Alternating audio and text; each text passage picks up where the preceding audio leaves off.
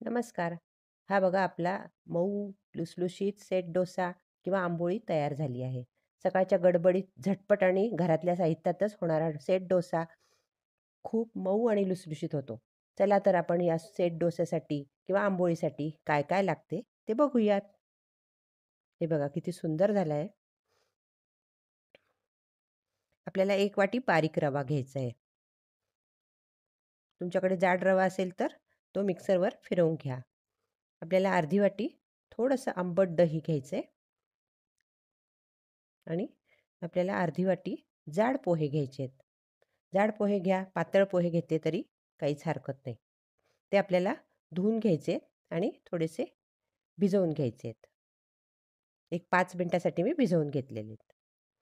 आणि हे सगळं मस्त कालवून घ्यायचं आहे आपल्याला.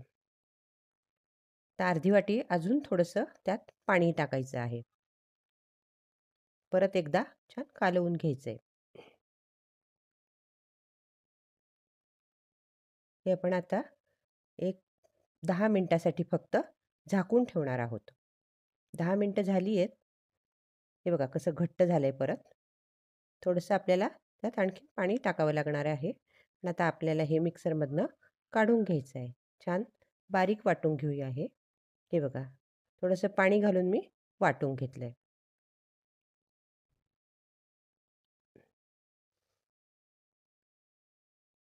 हे बघा हे असं छान बारीक वाटून घ्यायचं आहे आपल्याला. आणि कन्सिस्टन्सी तुम्ही बघू शकता. डोशाच्या पिठासारखी आपल्याला करायची आहे. त्यात आपल्याला पाव चमचा खाण्याचा सोडा टाकायचा आहे.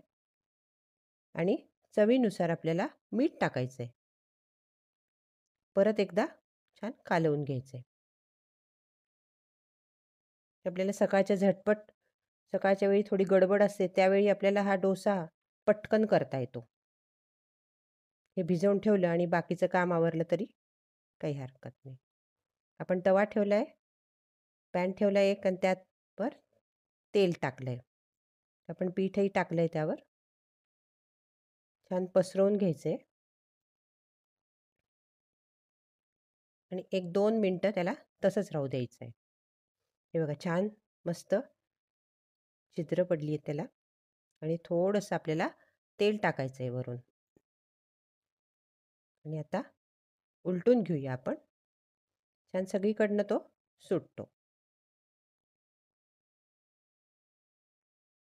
पलटून घेऊया आपण. हे बघा किती सुंदर कलर आला आहे थोडंसं तेल घालूया. नाही टाकलं तरी चालेल पण मी थोडंसं तेल टाकलेलं आहे. हे बघा किती सुंदर छान शेकला गेला आहे आपण आता काढून घेऊया. बघा किती जाळीदार मस्त सेट डोसा आपला तयार झाला आहे आता मी अजून एक टाकून दाखवते तुम्हाला. हे बघा छान पसरून घ्या असा. आणि एक दीड ते दोन मिनटं थांबा थोडंसं. तेल टाकलं आहे आपण आणि आता पलटून घेऊया. लगेच तो तव्यापासून सुटतो. थोडंसं किंचित तेल घातलं आहे दुसरीकडने मस्त खमंग भाजून घेतला आहे आपला दुसराही सेट डोसा तयार झाला आहे ते मऊ लुसलुशीत आपले डोसे तयार झाले. आणि तिसरा टाकला आहे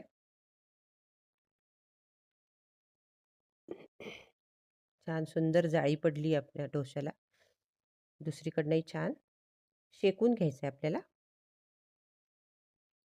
फारसं तेल लागत नाही.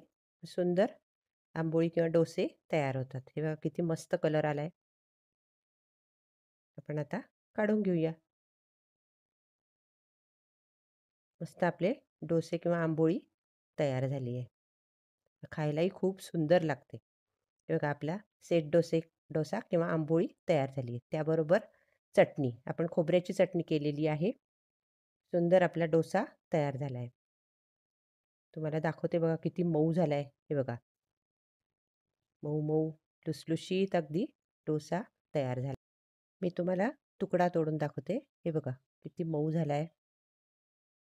त्याबरोबर आपल्याला चटणी खायची आहे हे बघा किती सुंदर झाला आहे आपणही हा नक्की डोसा करून बघा, खाऊन बघा आणि आपल्या प्रतिक्रिया मला नक्की कळवा.